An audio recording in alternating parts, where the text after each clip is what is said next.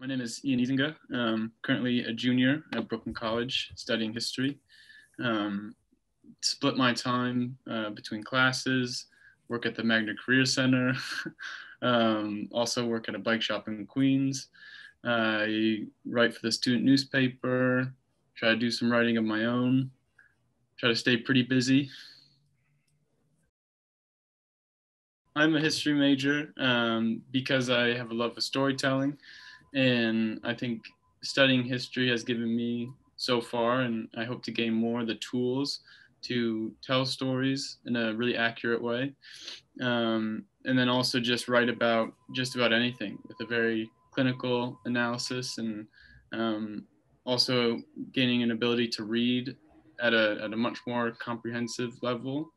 Um, and all of these to kind of serve just my general interest of learning information and sharing information and uh, I think that that's about it. Yeah, my favorite faculty member is at this point. I don't like to play favorites, but uh, it's probably going to be Michael Rawson. Um, I've had two classes with him now, and he's shown to be just a very, um, a very serious scholar, but also has a good sense of humor. Who's gone a long way of giving me advice, and uh, currently working with him on the Mellon fellowship as he as my advisor. So we have similar shared interests in study, but uh, overall he's been like a very helpful professor since transferring here.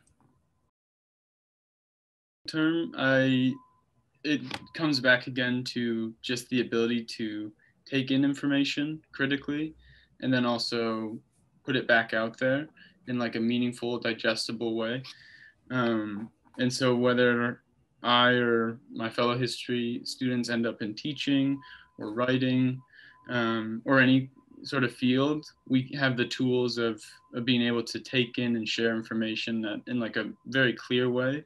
And that's something that I've always valued. And it's been really fun to look back on papers and just show, see how much more clear they've gotten over the years. And that's, that's something I want to keep improving.